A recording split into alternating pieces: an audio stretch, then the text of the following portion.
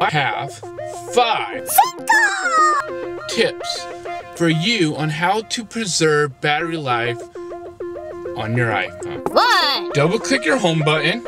It'll show you all the apps you have opened and you can start closing them by swiping them up. two, Go to settings, go to display and brightness and turn off auto brightness. three, Go to notifications and and then what I have, I set each one to what alerts I want on them and all the vast majority I have all the alerts completely turned off. Go to general, background app refresh, and I turned it off. five, give me five.